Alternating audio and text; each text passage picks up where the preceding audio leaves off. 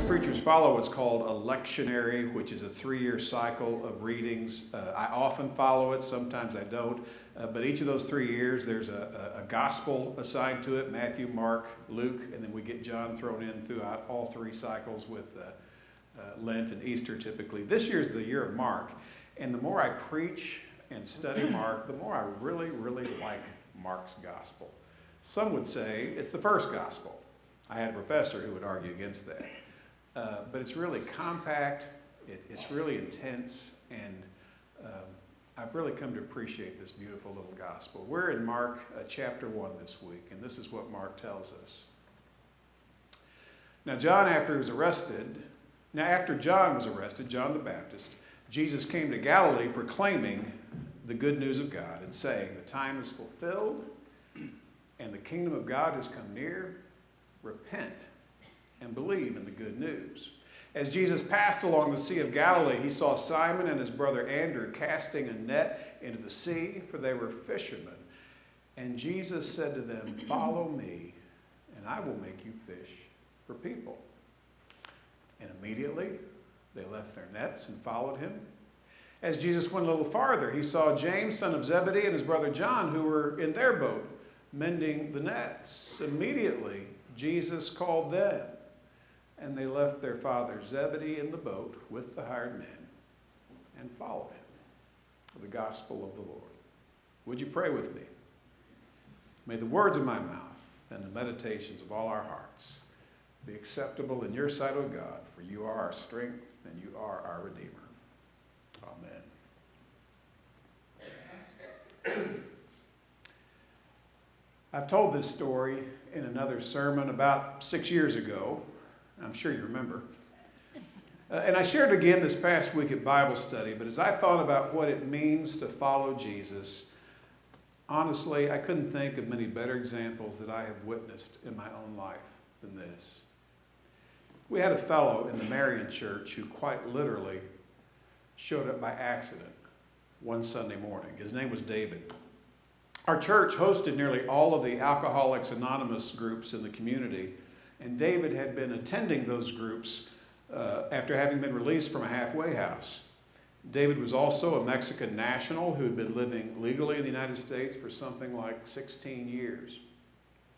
David apparently misunderstood someone to say that there was an AA meeting on Sunday morning at 9:30. And so he went to the usual room where AA meets at the church and was quite surprised when a Sunday school class started filtering into the room. Now, I'm not sure how long it took him to figure out this was not an AA group, but was a Sunday school class. He introduced himself and, and explained what happened uh, to the class. They just laughed it off and surrounded him with a lot of love and acceptance and quickly made David one of their own. He continued to come to the Sunday school class, made a lot of new friends, started attending worship as well. He eventually joined the church and became a very faithful, active member, which helped him a lot in getting his life back on track following a very rough spell in his life. In fact, he met a young woman with whom he fell in love, and he proposed marriage to her during Sunday school that morning. He wanted his friends to share that. Well, my heart sank one afternoon when I received a desperate phone call from his fiancee telling me that the immigration authorities had picked David up that afternoon. David's past had caught up with him, and because of some prior convictions for domestic violence, which I actually think happened in Mount Vernon, uh, which were related to his alcoholism, immigration, who was going on a random run to pick up people, they hauled him in, put him in jail, and would quickly begin legal proceedings to have him returned to Mexico. He was incarcerated down in Charleston, Missouri, and within a day or so, I drove down to visit him in jail, uh, put some money on his account so he could make phone calls, uh, delivered his Bible, which he had requested, as well as his engagement ring, which his fiancee wanted me to take down to him. You know, I felt helpless, and I honestly thought I might never see or hear from David again. This was a new experience for me as a pastor. Well, an immigration attorney told us that the only way to slow down the legal process was to get him out of jail as soon as possible, which required, as I recall, something like over $10,000 for the bond.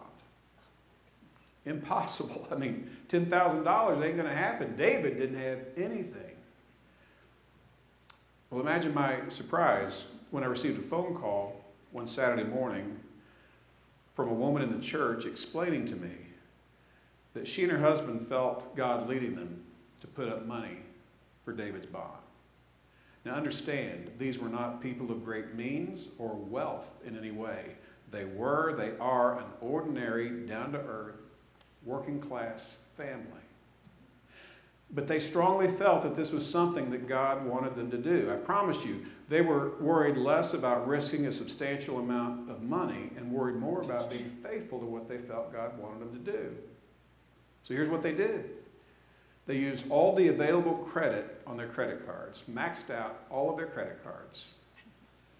And for the remaining balance, they'd allowed a lien to be placed against their home in order for there to be sufficient funds to be applied to his bond. Thankfully, David was quickly released. He returned to his home and to his church. He was married shortly thereafter. And I don't understand the law, but somehow he successfully fought his extradition. It took several years to get through it. And I saw David just last Sunday evening when I returned to Marion for a funeral. His previous marriage didn't work out so well. She had a drug issue. He's married again, I think, to maybe a better, healthier woman. He's finally gotten his driver's license back, and he continues to work toward becoming a United States citizen. Every time I see him, he promise me, promises me it's going to happen very soon. Like I said to our Bible study group last week, who does that? Who does that? Who puts their own well being in jeopardy on behalf of somebody you hardly know? That woman called me just to kind of check it out and make sure he was legit. I mean, who risks their hard earned assets to assist someone who's really responsible for his own mess? Well, I'll tell you who does that. It's people who know Jesus and who follow him. Folks who do what Jesus asks them to do. And although I share this story with you, that couple has never wanted anyone else to know their identity. I think folks close to it know who did it. But they want no accolades, they want no recognition, no congratulations from anyone, including David. They only wanted to do the right thing as they believed God leading them to do. Let me ask you are you following Jesus? Are you following his direction in your life? Are you doing what he asks you to do? You know, we're hardly into the first chapter of Mark's gospel, and in the 14th verse, Jesus is announcing his mission. He says, The time is fulfilled and the kingdom of God has come near. Repent and believe in the good news. Remember that repent literally means to change your mind, to change your way of thinking, to change direction. Repent and believe the good news of God's kingdom. And Jesus then begins his recruitment efforts. According to Mark, as Jesus passed along the Sea of Galilee, he saw Simon and his brother Andrew casting a net into the sea, for they were fishermen. And Jesus said to them, Follow me, and I will make you fish for people. A better translation might be I'm going to make you fishers of people, fishers of men and women. I'm going to teach you how to catch people into the kingdom of God. How did the brothers Simon and Andrew respond? Mark says, and immediately they left their nets and followed him. This is one thing I love about Mark's gospel. There is a sense of urgency in it. The story moves at a rapid pace. In fact, Mark uses the word immediately something like more than 40 times throughout his very short gospel. So Jesus says to Simon and Andrew, Follow me, and I'll make you fishers of men and women. And what is their response? Immediately they left their nets and followed him. Immediately, without hesitation, without questions, without a job interview or a job description, without negotiating benefits or a salary package, without submitting a resume or high school transcripts, without a criminal background check, these very ordinary working class fishermen answered the call of Jesus and left their nets and followed him. The recruitment continues. Mark tells us. As Jesus went a little farther, he saw James, son of Zebedee, and his brother John, who were in their boat, mending the nets. Immediately, he called them. Immediately, Jesus called them. And how did these brothers respond? They left their father Zebedee in the boat with the hired men and followed him. Now, do you get how radical that verse is? They left their father in the boat with the hired help and followed Jesus. One Bible commentary says this the fact that these men dropped both occupation and family obligations to follow the one who summons them demonstrates that their call comes from God. Such a break with family and occupation is extraordinary. In fact, their walking away from their father and the family business may well have put the welfare of the whole family at risk. I don't know about you, but I find that incredible. But perhaps even more incredible, even more remarkable, is this. Today, Jesus is calling you to follow him. Jesus walks up to you today and he says, Follow me. Follow me, and I'll teach you how to catch people into God's kingdom. Do you hear Jesus calling you to follow him? Do you know that Jesus has a purpose in calling you, and that purpose is to connect with human beings in such a way that they are brought into God's kingdom of love and light, God's kingdom of grace and mercy, God's kingdom in which all human beings are valued and loved? N.T. Wright, the English bishop and theologian, offers these thoughts. Sometimes Jesus' call comes slowly, starting like a faint murmur and growing until we can no longer ignore it.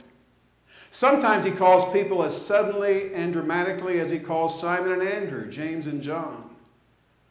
When that happens to you, by whatever means and at whatever pace, you will know. Jesus has a way of getting through, and whatever we are engaged with, whatever nets we are mending or fish we are catching, somehow we will be sufficiently aware of His presence and called to know what it is we're being asked to do. Again, do you hear Jesus calling you to follow Him? And if you do, how are you going to answer? Pope Francis has said, following Jesus isn't easy, but it's wonderful. And it's always a risk. Will you follow Jesus? Will you follow him wherever he leads? Will you even risk yourself to follow him?